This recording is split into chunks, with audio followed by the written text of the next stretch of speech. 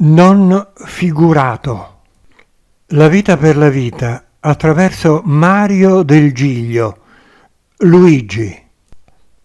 Vedi, caro nipote, non puoi credere di ottenere la mia protezione attraverso l'immagine che qui hai.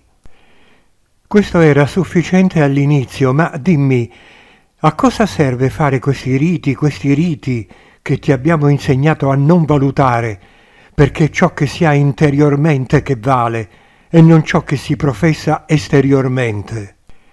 E questo è l'insegnamento. Non praticate i riti, perché essi fanno sentire tutto come un inganno spirituale e non fanno sentire ciò che siamo e vi fanno sembrare che ci sia un intervento immaginario e senza senso. Tutto questo non è conforme alla nostra fede e al nostro credo che è quello di togliere dal vostro bagaglio di conoscenza tutta una serie di fattori e di insegnamenti che sono più vicini al paganesimo che alla vera fede che dovete imparare a praticare. Ecco perché ti viene detto di togliere la mia immagine, perché essa ricorda come io ero, ma vorrei che tu mi ricordassi come io sono, per ciò che insegno spiritualmente tu puoi non capire quello che dico, ma è la verità, credimi.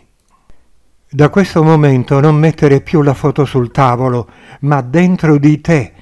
Devi avere la convinzione che avverti per starmi vicino spiritualmente in modo non figurato.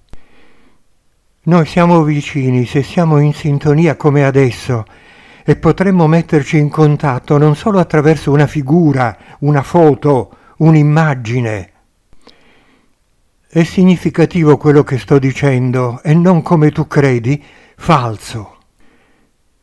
Devi credere questo.